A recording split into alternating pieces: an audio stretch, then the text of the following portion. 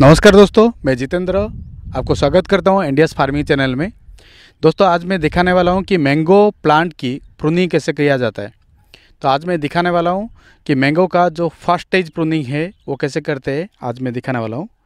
तो सबसे पहले आपको एक प्रूनिंग कटर लेना पड़ेगा। जैसे आप देख सकते हैं, ये प्रूनिंग कटर ये नीट एंड क्लीन होना चाहिए। अभी मैंने कुछ प्लांट को काटा है प्रूनिंग किया है। इसकी वजह से इसका कलर थोड़ा चेंज हुआ है। तो अगर हो सकता है तो आप थोड़ा हॉट वाटर लीजिए। हॉट वाटर में इसको अच्छी तरह से उसको क्लीन कर दीजिए ताकि जो भी बैक्टीरिया वायरस रहेगा, वो आराम से क्लीन हो जाएगा। तो ये बोलते हैं कि प्रूनिंग कटर और इसको आप नॉर्मली ऑनलाइन से ले सकते हैं या कोई भी मार्केट में रिटेल शॉप में भी इसको ले सकते हैं। अगर इसका प्राइस अगर मैं बात करूँ तो इसका प्राइस अराउंड टू फिफ्टी से लेके थ्री फिफ्टी या फोर हंड्रेड तक आता है। अगर काफ़ी ब्रांड कंपनी का अगर आप लेंगे तो ज़्यादा से ज़्यादा फोर फिफ्टी से फाइव हंड्रेड तक वो आ ही जाएगा।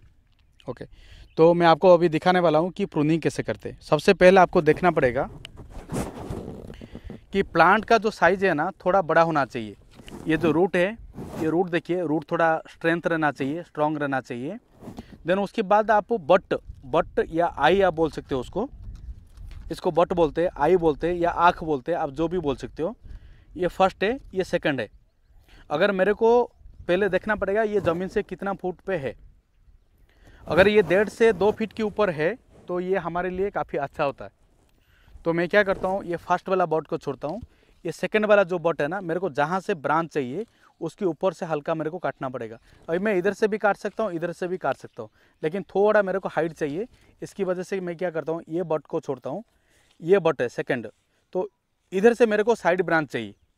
तो अभी मैं ये क्या करेगा? ये सेकंड बट से मैं कटिंग करेगा। तो सेकंड से बट से कटिंग करने से पहले मेरे को देखना पड़ेगा, जो ये कटर है ना, ये 45 डिग्री पे रहना चाहिए। अभी 45 डिग्री कैसे होगा? ये मेरा ये मेरा ज़ीरो डिग्री है। तो इसको मैं घुमा देता हूँ तो ये मेरा 45 हो जाएगा। अभी देखिए मैं क्या करता हूँ। ये है अभी मेरे को तुरंत एग्जैक्टली नहीं काटना चाहिए थोड़ा सा ऊपर काटना चाहिए। तो आप देखिए अभी, मैं उसको 45 किया।